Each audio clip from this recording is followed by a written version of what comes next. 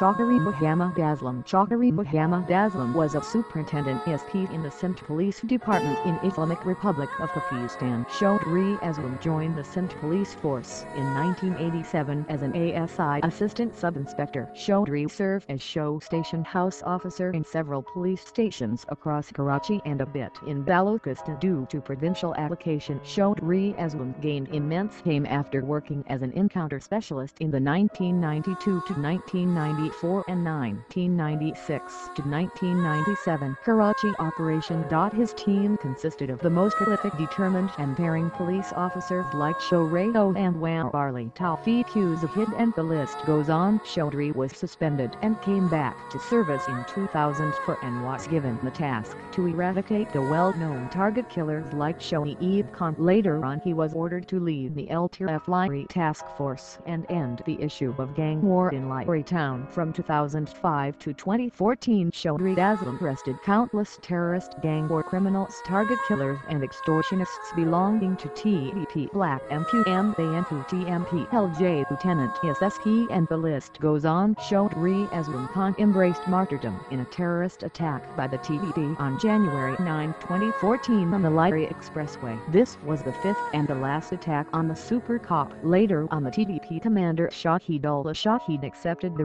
responsibility of killing Chaudhry Aslam. Personal info He belongs to Ogi the Tehsil of Mansehra district. He even headed the 2005 Lyari Task Force and moreover the anti-extremist cell of CID and received hefty amounts of head money of over 10 crore rupees. Chaudhry Aslam arrested and terminated well-known and hardened criminals like Rehman Dakait Shoaib Consulate Mirza TTP commanders and several other menacing terrorists belonging to particular band outfits and political parties. Career He started his career as an assistant sub-inspector in 1984. Prior to that he had served as a station house officer show at a number of police stations across Karachi. Lyari area in Karachi was a battleground between two rival groups becoming a no-go zone for law enforcement agencies. Aslam's breakthrough in the rested area secured him the position of leading the Lyari Task Force LTF along with his team including DSP Ayaz and Bahadur Aslam launched an operation against gangsters in Lyari. In various shootouts the team killed many gangsters holding Lyari hostage. He was held in deep regard by the police force and the general public of Pakistan. He is the father of Hussain Ali Rana. In May 2005 LTF raided a bungalow belonging to gangster Rehman Dakait in Balochistan's hub area which sparked a four-hour shootout leading to death of a police officer, a civilian and two suspected members of Dakait's gang. In 2010 Aslam was appointed as head of the investigation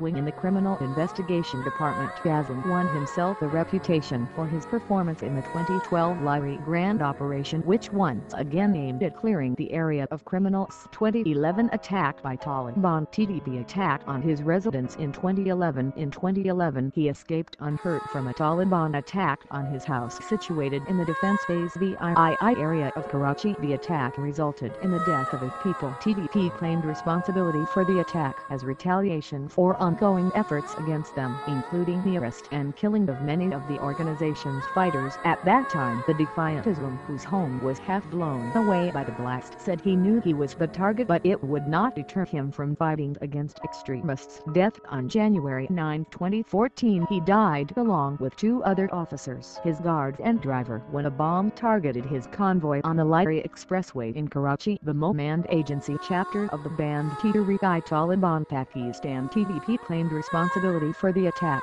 3 Sajjad Mohmand, a spokesman for the militant group said Aslam was targeted for carrying out operations against the TVP. Aslam was involved in killing Taliban prisoners in CID cells in Karachi and was on the top of our hit list he said. Prime Minister Muhammad Nawaz Sharif praised SPCID Chaudhry Aslam and the other officers killed as martyrs and said that such attacks will not deter the law enforcement agencies in their fight against terrorism. Inter-Services Public Relations ISPR General Raheel acknowledging the contributions of police and other law enforcement agencies pleased in the fight against terror and paying tribute to Chaudhry Aslam for laying down his life in the line of duty.